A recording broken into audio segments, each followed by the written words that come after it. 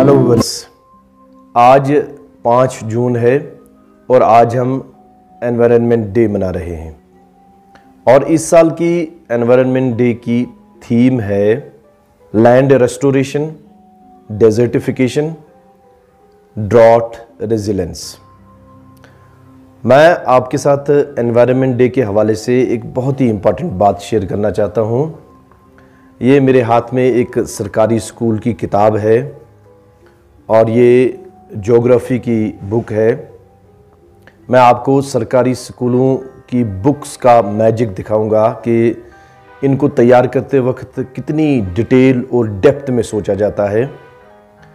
इस बुक में पहला चैप्टर है एनवायरनमेंट और चैप्टर के बाद जो क्वेश्चंस होते हैं at the end of the chapter questions के बाद भी कुछ एक्टिविटीज़ होती हैं जिनको बच्चों ने करना होता है टीचर के साथ मिलकर।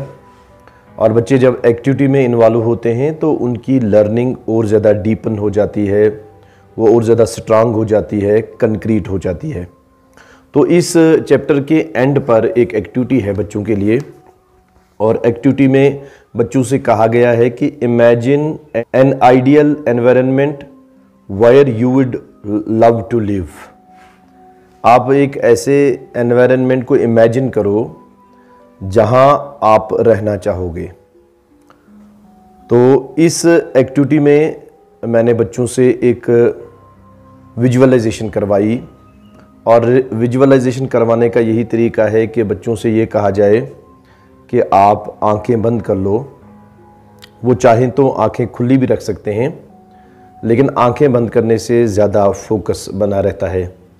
तो बच, जब बच्चों ने आँखें बंद की तो उनसे ये कहा गया कि आपकी ख्वाहिश ये होगी ज़रूर कि आपके पास एक खूबसूरत सा मकान हो और उस खूबसूरत से मकान के आसपास एक खूबसूरत सा एनवायरनमेंट हो। तो ज़रा उस एनवायरनमेंट को विजुअलाइज कर लो कैसे दरख्त होंगे आपके हाउस के इर्द गिर्द क्या कोई वाटर बॉडी होगी कितने ग्रीन दरख्त होंगे और आपके हाउस की जो विंडोज़ होंगी, उस पर जो वेस होंगे, उसमें किस किस किस्म के किस किस टाइप के फूल होंगे, और आप का जो सहन होगा, उसमें बर्ड्स कैसे चहचहा रहे होंगे, आप उनको, उन आवाज़ों को सुने, पानी के झरनों की आवाज़ों को सुने, आप ग्रीन जो ट्रीज़ हैं, उनके पत्तों को इमेजिन करें उनके पत्तों को हवा से हिलता हुआ देखें और आप बहुत दूर तक जब नज़र दौड़ाते हैं तो आपको बिल्कुल ग्रीनरी नज़र आती है, साफ़ पानी नज़र आ रहा है, मीठा पानी नज़र आ रहा है, आपको ब्लू स्काई ऊपर देखने से नज़र आ रहा है। हर कुछ साफ़, शिफाफ है, बिल्कुल अपनी नेचुरल फार्म है। तो इस तरह से जब बच्चों को विजुअलाइजेशन करवाई गई तो उसके बाद बच्चों को जब कहा गया कि आप अपनी आँखें खोलो और अपनी फीलिंग को एक्सप्रेस करो तो उन्होंने कहा कि हमें तो बहुत ही ब्यूटीफुल और हैप्पी फीलिंग्स आ रही है और हम चाहते हैं कि हमारे लिए ऐसा ही एनवायरनमेंट हो। तो बच्चों से पूछा गया कि क्या आपने विजुअलाइजेशन में कहीं पॉलीथीन देखा? उन्होंने कहा, नहीं। आपने गंदा पानी देखा? नो आपने कटे हुए ट्रीज देखे? नो तो इसके बाद इस एक्टिविटी का दूसरा पार्ट जो है कि बच्चों से अब कहें कि आप इसकी ड्राइंग तैयार कर लें। जो कुछ आपने विजुअलाइज किया, उसकी आप ड्राइंग तैयार कर लें। असल में इस विजुअलाइजेशन से हम चूँकि अपने लिए एक साफ़, सुंदर और ब्यूटीफुल एनवायरनमेंट चाहते हैं, जब बार बार हम इसको विजुअलाइज करेंगे तो ये हमारे सब कॉन्शियस माइंड का पार्ट बन जाएगा। और सब कॉन्शियस माइंड का पार्ट बन जाने का मतलब है कि हम उस पर एक्शन भी लेना शुरू कर देंगे।